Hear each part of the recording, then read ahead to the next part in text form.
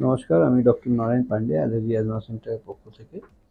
আজকে আমরা আলোচনা করতে চলে- চলেছি আইব্রো নিয়ে। প্রচুর মানুষের এই আইব্রো ঝরে যায় বা এই জায়গাটা ফাঁকা হয়ে যায় বা হালকা পাতলা থাকে, খুব কম অল্প বিস্তর থাকে। সেই সমস্ত পরিস্থিতিতে মানুষের ফেশিয়াল ইমপ্রেশন একটা নিজের নিজেকে নিজের মধ্যেই কনফিডেন্স হারায়। এটা নিয়ে আমরা আলোচনা করতে চলেছি। আপনারা যারা নতুন দর্শক, ওনাদের অনুরোধ করব লাইক সাবস্ক্রাইব কমেন্ট শেয়ার করে যেতে। আর পূর্ণ দর্শক যারা লাইক সাবস্ক্রাইব কমেন্ট শেয়ার করছেন, ওনাদের অনেক অনেক ধন্যবাদ।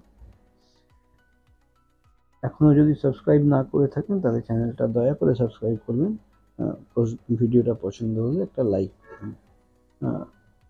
আমরা কলকাতায় শিয়ালদা স্টেশনের পাশে মৌলালি মাজার এবং ইন্টালিজেন্ট হলের মাঝখানে অবস্থিত।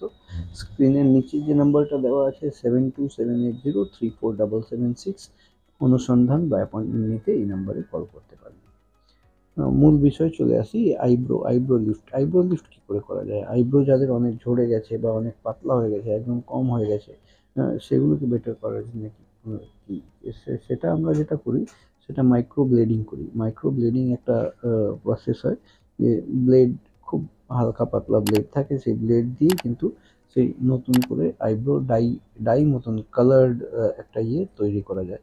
হেয়ার তো ট্রান্সপ্লান্ট করা যাবে না, কিন্তু ল্যাশেস মতন তৈরি করে এরকমভাবে তৈরি করা যায় যেরকম ওটা প্রকৃত দেখলে খুব কাছে থেকে খুব ডিটেল না দেখলে কিন্তু ওটা আইব্রো মতনই লাগে। খুব কাছে থেকে খুব অবজার্ভ করে যদি দেখে, তাহলে মানুষ বুঝতে পারে যে না, এটা ইয়ে করা আছে।